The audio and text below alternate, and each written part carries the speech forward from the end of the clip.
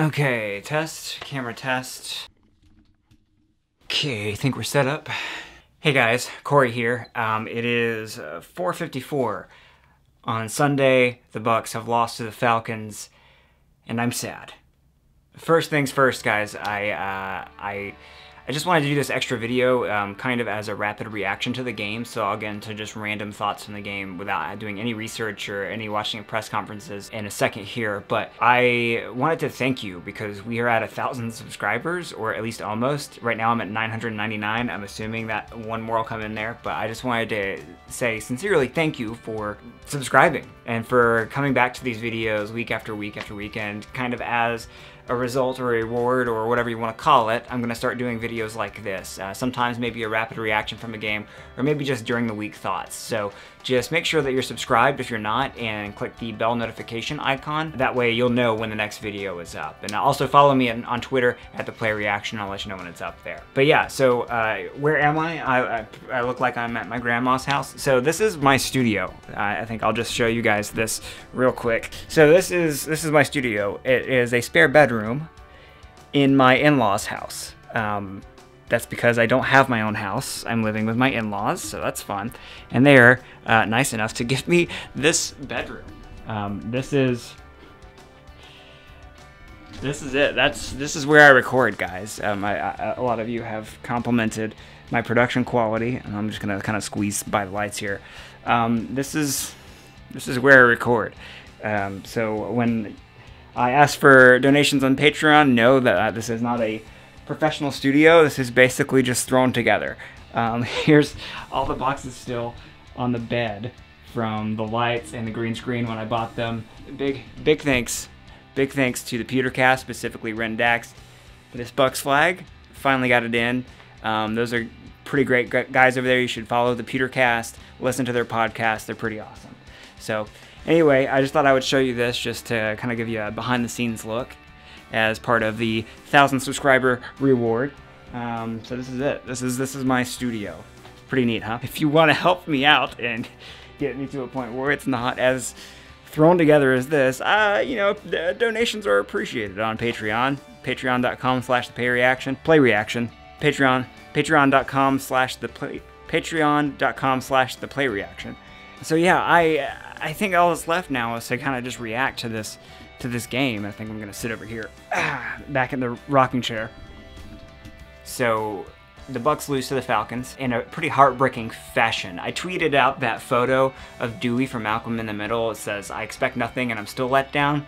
That's absolutely how I felt about this game. I did have a little hope, honestly, that we would come in and that we would at least compete because this team has had a history of whenever they got blown out, they would come back and suddenly clamp down on defense and we'd win the game. Sure enough, that first half happened and it was business as usual for our horrible, horrible Mike Smith led defense. The, the Bucs fought their way back, much like they did in 2017. They made it just close enough so that they would break our hearts at the very end, which is just so nice of them. I, I just really appreciate, can I just really appreciate how they think well enough of us to at least make it close and then rip our hearts out, so that's fun. I, you know, I was actually watching this game with my wife, who is a Falcons fan, and after that lateral, whatever you want to call it, fumble fumblerooski play that the Bucs tried to run at the very end of the game that almost went down, went for a touchdown had DeSean Jackson caught the ball. I turned to my wife and I just said, why do they keep doing this to me? Um, it's tough being a Bucs fan, guys, and you know it. It's very hard. For whatever reason, everybody has their own story. For me, I've rooted for them since the mid 90s when I was a kid. We remember those glory days, a lot of us do, when this team was feared, and it's been 10 straight years of games just like this one, where they just come so close, and then they just, for whatever reason, whether it's Murphy's Law or just poor execution or bad coaching, whatever it is, they rip our hearts out. I'm feeling it up here, especially in in the city of Atlanta. I'll probably hear it from my coworkers, even though that team's not very good.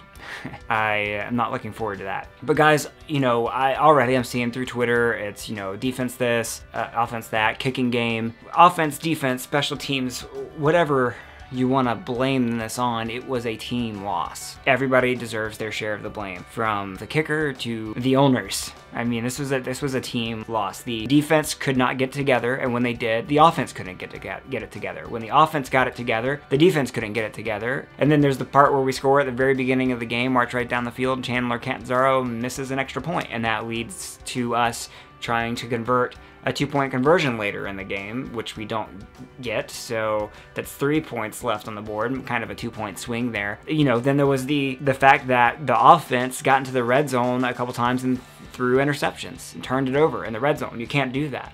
And then there's, there's the fact that the defense was horrible in the first half, allowed the Falcons to march down the field with 30 seconds left and kick a field goal at the end of halftime. That ended up being the difference. They allowed the team to kick a 58 yard field goal with a guy we know and love very well, or used to know and love, and his huge leg, Matt Bryant, allowed him to kick a 58 yard field goal. I mean, it's just everything came together for us to lose this game. And it is tough. It is hard. But guys, I know I'm here with, with you in this. This is more therapy for me. I don't really have any glimmers of hope other than the fact that somehow this defense figured it out after halftime. And that it kind of drives me crazy because it's just like the Steelers game. The Bucs defense will just the floodgates will be open for the first half, and then they figure it out for the second half. And suddenly the Falcons only scored I think 10 points in the second half. I, it was a different defense. So why this defense can't get it together at the beginning of the game and have a complete game is mind-boggling to me. Maybe there's hope there that this was the start of them figuring it out for the rest of the year. Maybe. Maybe not. But it's going to be another one of those years, guys. So we're in this together. Um, make sure that you follow me on Twitter at the Play Reaction, even on Instagram. Subscribe, and we can talk it out together. I know you're angry. Voice your angry opinions on Twitter. That's what it's for. But uh, in the end, I think the wrap up is let's take a deep breath. Let us follow the right experts on the game, the people who break down the film and, and really try to figure out exactly what went wrong where and, and have informed opinions. Let's not just go off our emotions and say fire this guy or that guy or trade for this guy, trade for that guy, cut this guy, whatever it is. Let's uh, let's just have some informed opinions. Be on the lookout for a video soon. I'm recording as soon as I stop recording here for my new video. That'll be out later on in the week and maybe we can laugh together about it by then. Thanks for joining me guys. Thanks for the thousand of you that subscribe already and here's to a thousand more. Go Bucs.